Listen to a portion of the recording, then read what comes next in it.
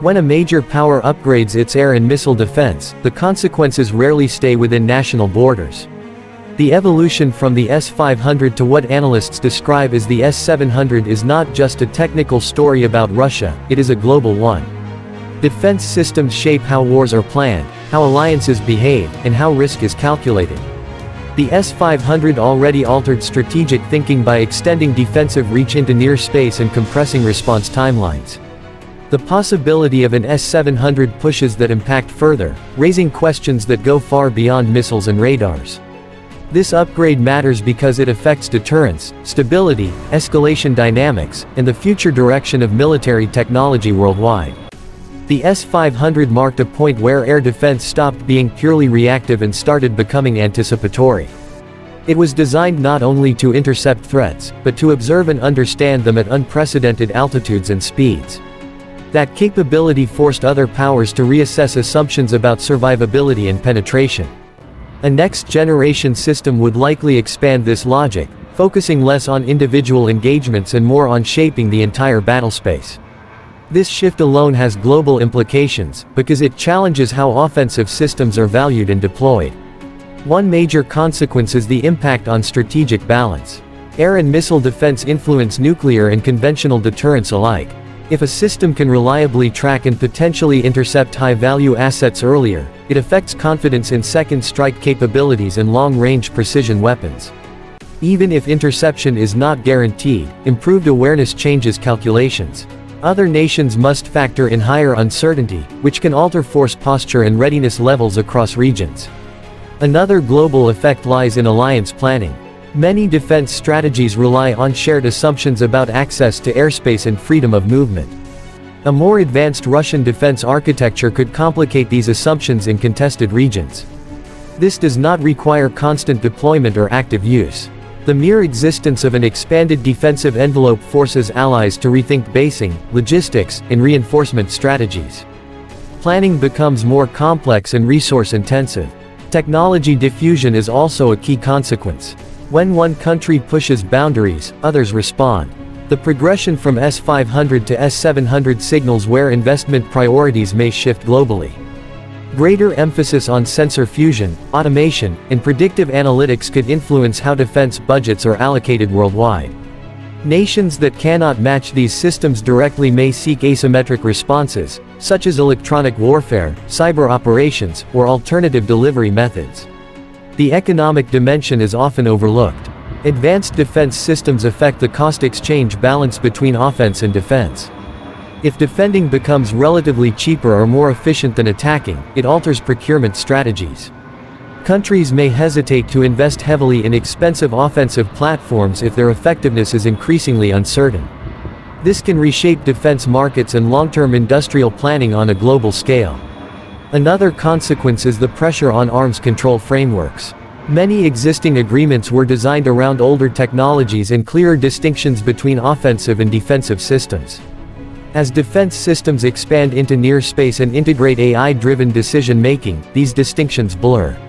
The evolution toward an S700-like architecture highlights gaps in current regulatory structures, potentially accelerating debates about new norms or agreements. Operational doctrine worldwide is also affected.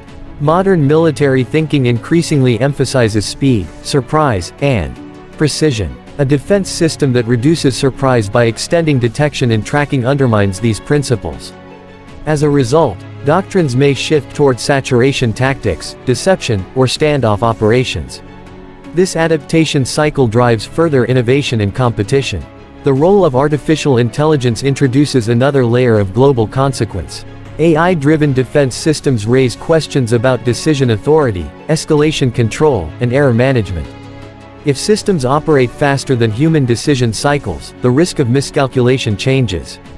Nations observing this trend may accelerate their own automation efforts, leading to a broader transformation in how military decisions are made. There is also a psychological dimension.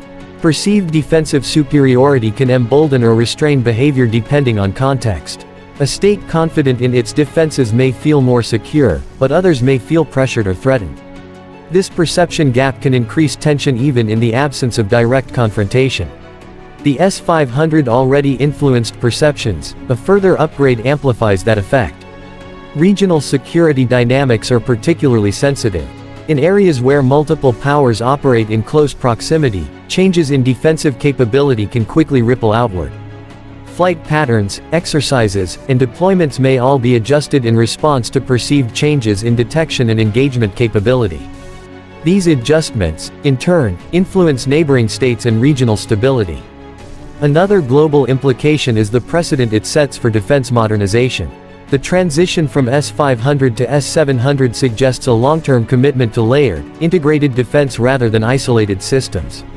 Other nations may adopt similar approaches, accelerating a global shift toward network-centric defense architectures. This convergence can increase complexity and interdependence across military systems. The information domain is also affected. Advanced defense systems generate enormous amounts of data. Managing, securing, and interpreting that data becomes a strategic challenge. Nations observing Russia's approach may invest more heavily in data infrastructure and cybersecurity, recognizing that information itself is now a key element of defense. Importantly, global consequences are not limited to military planners.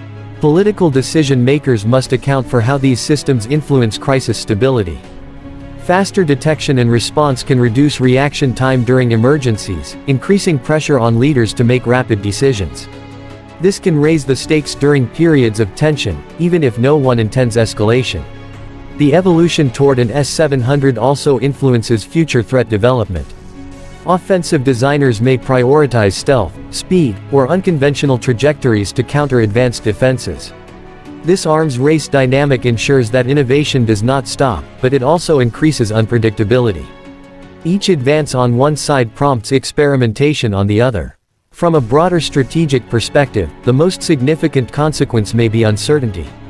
A defense system does not need to be fully understood to have impact. Unclear capabilities force adversaries to assume conservative scenarios. This uncertainty shapes planning, investment, and diplomacy. It becomes a quiet but persistent factor in international relations. Ultimately, the global consequences of moving from S500 to S700 are not about a single system outperforming another. They are about how the balance between offense and defense is evolving worldwide. As defenses become smarter, more integrated, and more anticipatory, the rules of military competition shift. The world must then adapt to a landscape where power is measured not only by the ability to strike, but by the ability to see, decide, and deny. That is why this upgrade matters far beyond Russia's borders. Share your thoughts below and don't forget to like, subscribe, and join us next time as we explore more of the world's most advanced military technologies.